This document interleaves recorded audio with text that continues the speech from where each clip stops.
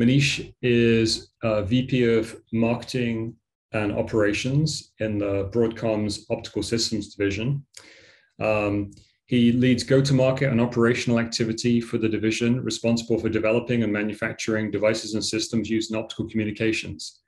And prior to Broadcom, uh, Manish was EVP and product line management of Source Photonics, where he led the company's entry into the data center market. And Manish holds a PhD in electrical engineering from the University of California, Santa Barbara, and a BS in electrical engineering from the University of Texas.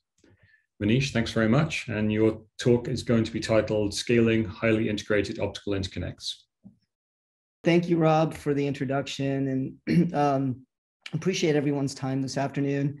As I was hearing the last few talks, you know, this morning and, and just now, I was actually eliminating slides uh, as, as a lot of it was, was covered. But um, as I, I, go through the material, and I'll certainly present some of what Broadcom is doing in the integrated optics and CPO space.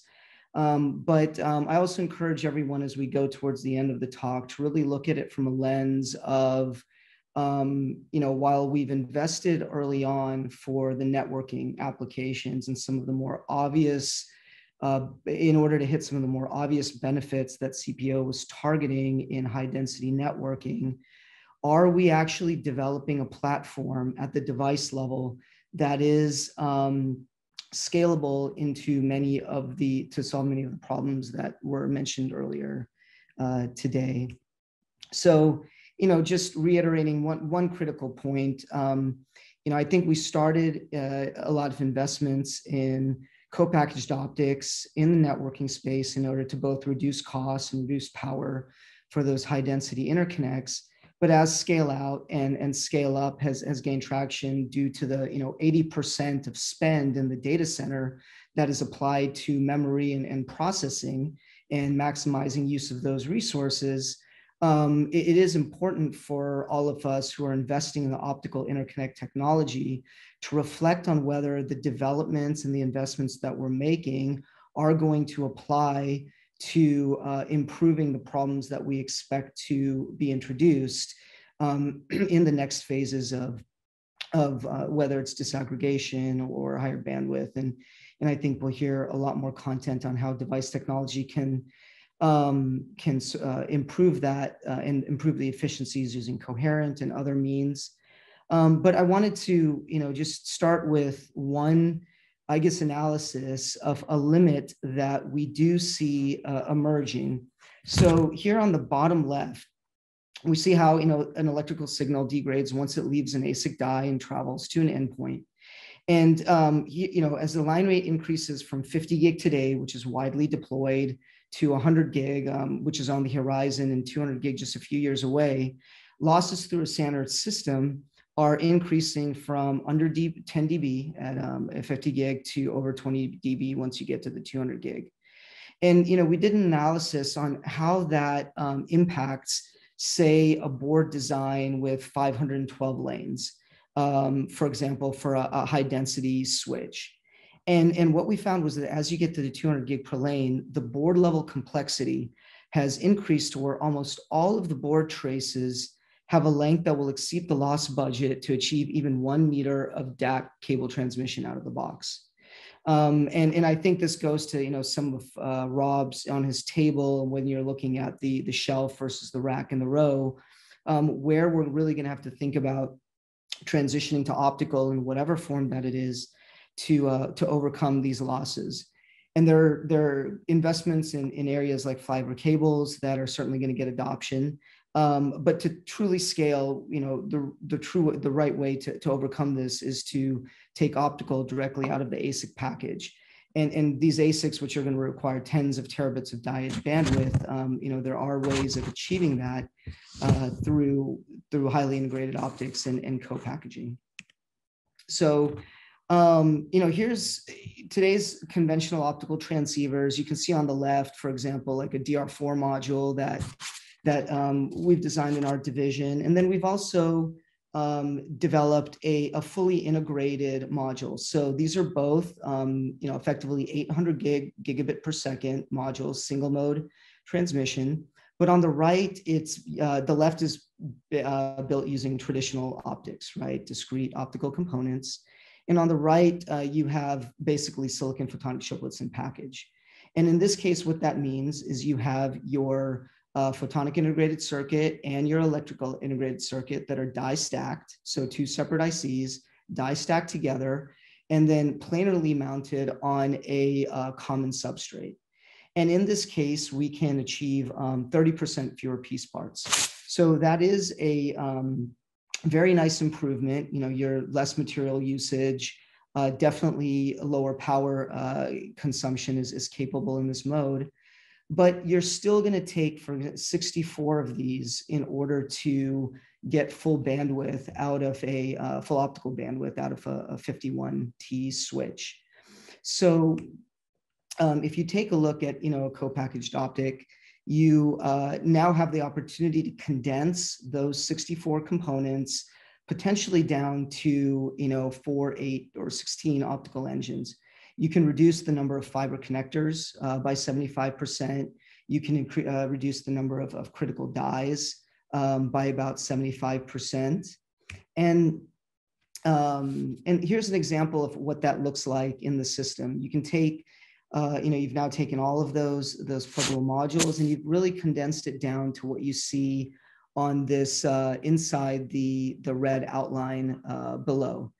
And uh, that, that, you know, that is the first phase of efficiency improvement that um, I think the industry has been investing in uh, with co-packaged optics.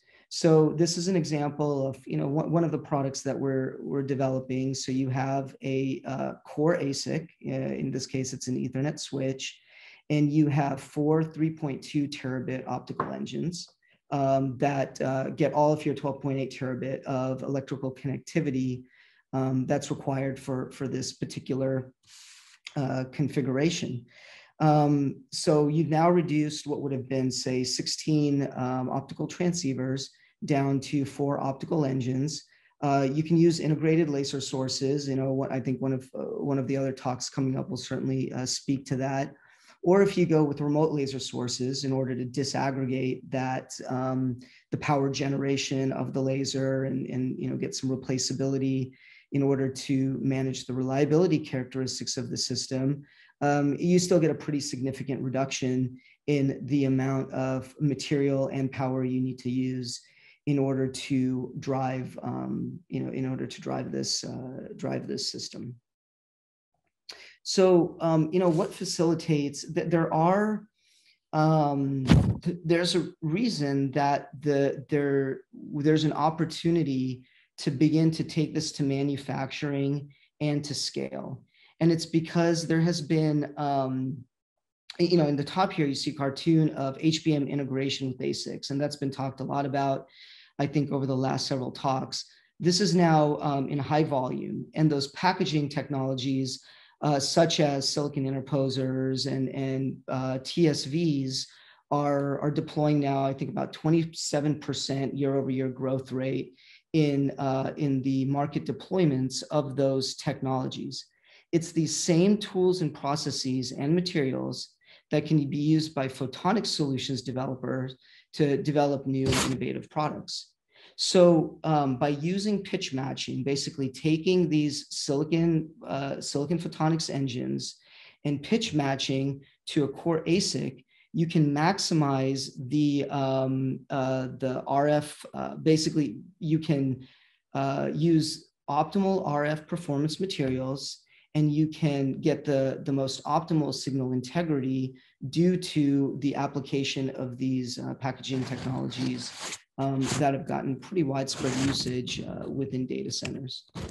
And you know, here's a cross-sectional SEM of the outcome. So as I mentioned, you have a photonic integrated circuit, which is going to have your MZMs, or ring modulators, photodiodes, and waveguides die stacked, die stacked in this case with like an electrical IC, um, which has modulator drivers and TIAs. And then that stack is on a common substrate uh, with a signal processor. And you can tell here, even just from uh, the, the dimensioning, that the very short physical spacing of that die stack and the signal processor uh, does facilitate you know, optimal signal integrity characteristics. Um, so, so to not only develop but but scale these solutions in the coming year, you know, th- there is a rethinking of device and packaging architecture that is required. Um, you know, some of the areas that we've had to invest and that the, the industry is going to have to continue to invest and develop are listed here. You know, the, there's a lot of work obviously done regularly on the core ASICs, whether it's networking um, or compute ASICs. Um, but you know, some of the other areas that we've had to innovate with partners um, on laser devices. You know, we have to transition to very high power continuous wave lasers that uh, can operate fully uncooled in order to uh, you know minimize reliability risk, minimize the um, and minimize the, um, the, the power consumption of those devices. In silicon photonics, uh, we're having to invest in device architectures that allow you to ensure you can physically integrate the electrical ICs and the photonic ICs. Um, you know, we, we've been looking at this in, in multiple material systems, including silicon germanium, but ultimately you certainly would like this to be in CMOS in order to drive the, um, you know, the lowest power consumption for the speeds at which uh, we're developing uh, the products for. And, and then, um, and then, as I mentioned earlier, the, the advanced packaging and test is um, absolutely critical in order to be able to ensure that you can use those techniques to, to co-package the ASICs and the optical interconnects. And then, um, so, so here's an example that, uh, an analysis that shows the benefits of any level of integration, uh, both for uh, bandwidth escape density as well as for power efficiency. So on the left, left curve, what we've done is we've calculated the improvement in, in both the physical and power efficiency um, for um, placing the optics in various spacing through various packaging techniques away uh, from the ASIC. So architecting solutions with socketed onboard optics, um, you know, that are either on the PCB or they're near packaged optics, say on a substrate, do provide meaningful power savings. You know, you can start to see optical interconnect powers that are below 20 picojoules per bit. Um, now, your, your escape density is still going to be limited to the electrical socket pitch. Um, that's not a constraint in many of today's um, applications, but based on the applications where you're trying to get, say, um, you know, terabytes uh, per die edge of a, of a core compute ASIC, that start, does start to become um, a limitation. As soon as you solder that chiplet to a common substrate uh, with an ASIC, your physical bandwidth limit transitions from the socket electrical fiber pitch, uh, socket electrical uh, pitch to the fiber pitch. And you can start to derive your, you know, exponential escape density by growing in, in the WDM domain. You know, realistically, uh, in, in, the next several generations with four, eight channels, especially if you're using for uh, like Mach-Zehnder modulators. Um, so on the right, we've translated that into optical interconnect power for 400 gig, 800 gig, and 1.6 terabit bandwidth, comparing pluggables and CPO. And you can see the benefits on the right. The pluggables are going to continue to improve. Um, DSPs will move and signal processing will move from 7 nanometer, 5 nanometer, and 3 nanometer. CMOS TIAs are already available on the market. But the, the fundamental need to perform the signal processing at the optical module will remain a limitation. Um, so if you compare these two you know, integration options, uh, on the left, you have the socketed versions. You know, the primary benefit and why this is certainly going to derive adoption in, in, in the next, um, in the early stages of integration is because it does provide flexibility. It is reconfigurable. Um, and, and, it does provide a multi-vendor eco, um, you know, a lot more multi-vendor options at the socket level. Uh, but then the silicon photonic chiplets in package um, do provide the long-term platform benefit of that of truly leveraging uh, semiconductor packaging capabilities in order to maximize your uh, power efficiency and your bandwidth density. There is another benefit here that we do need to look at as we really look into uh, true compute optical interconnect, which is that if you do want to migrate to wide and parallel interfaces at the optical um, at the um, optical engine you would need to um, really have uh, soldered chiplets. So, um, you know, no one's doing this alone. There's a lot of partners involved. And I wanted to note some of the, the vectors of innovation and what can be done here, where we'd really like to see, um, you know, a lot, a lot of universities, academia, industry continue to invest. Certainly in connectivity, as soon as you solder a chiplet, you can no longer have a uh, fiber, a fixed fiber, epoxy fiber. So uh, you do need detachable connectors. Um, in terms of devices, there's always going to be ongoing improvement in, in line rates. Uh, but there's still a lot of opportunity in packaging to ultimately get to that 100 to 1000x improvement in true optical bandwidth density. I spoke today about what you can achieve with just substrate level co-packaging, where you know we can get to about you know 6.4 to 12.8 terabits. So you know divide by eight, obviously for your terabyte of die edge bandwidth. But as you go then to interposers, uh, you know silicon interposers used for say HBM and ultimately potentially using micro TSVs, you can get that additional order of magnitude versus what we're even trying to develop today. Um, again, all using very, you know, emerging and, and maturing uh, semiconductor technologies. Um, you know, so I think finally, uh, you know, these are some numbers on what's achievable now with um, platforms that Broadcom is developing and, and, that many of our peers are developing optical interconnect power of less than six watts per 800 gig. 500 gig per uh, millimeter of die edge bandwidth, um, being able to attach um, through detachable connector uh, technology, 64 single mode fibers to that die edge. Um, and, and I think these are all an important step forward. Um, and you know, if we if we continue to innovate down this uh, platform, uh, there's opportunities I think to really continue to to drive uh, the next order of magnitude improvement, both on die edge uh, bandwidth and, and power consumption. So. Great. Thank you very much, Manish. That's really, uh, really great and uh, good visibility into some of the commercial investments and uh, demonstrations of how this technology is going to change going forward. Appreciate you sharing that with us. Um, I think we have time for one quick question. Uh, came from Ram. Um, his question is, um, how significant is CPO's benefit to switchboard development and material costs? Um, there's a lot of uh, so, so there there's pros and cons. You know, it is new for the industry. So if you're developing if you're developing a switch box um, and you're a system developer, uh, you have to make you've got to start putting some time into understanding fiber routing, strain relief, um, because we're not at the phase yet, you know, where we are transmitting these optical signals, say through the board.